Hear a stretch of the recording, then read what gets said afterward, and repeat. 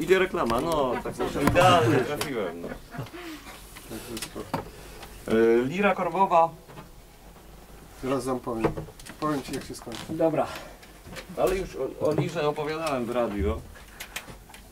Y, Coś opowiadać? Nie, wszyscy znają. Wiadomo. Okej? Ja dam ręką. Dobrze.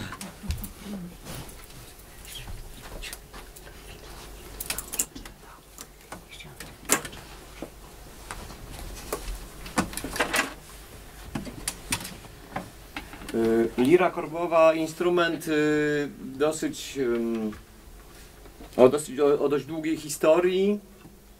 XI wiek, no z IX wieku jest pierwsze jakieś takie powiedzmy prze, przedstawienie na portalu katedry mm, Santiago de Compostela.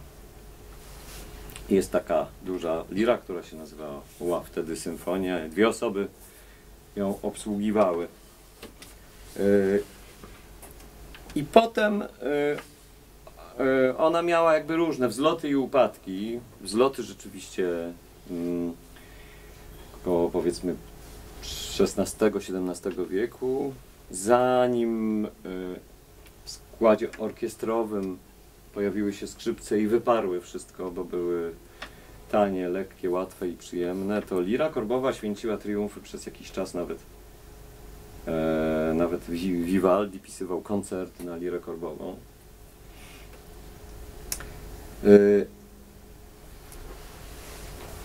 a we wschodni, na wschodnich rubieżach ona trafiła do śpiewaków wędrownych. Tak jakoś się przyjęła jako instrument towarzyszący wędrownym śpiewakom, dzia, dziadom. I z tą tradycją się przede wszystkim yy, na, we wschodniej Europie ten instrument wiąże. Mechanicznie to jest proste, jak, proste jak drut. Yy, ponieważ jest tutaj pudło, re, re, pudło rezonansowe w dowolnym kształcie. Są bardzo różne pomysły na to, jak wzmocnić dźwięk.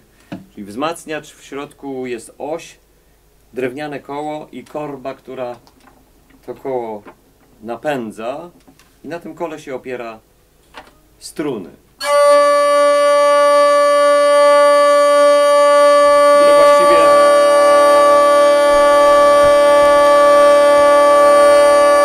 Czasami y, to są dwie struny, trzy w takim modelu podstawowym jak moim, cztery, mm, a w takiej bardziej rozbudowanych wersjach wirtuozerskich, mm, y, instrumentalnych, no to jest ich tam nawet kilkanaście.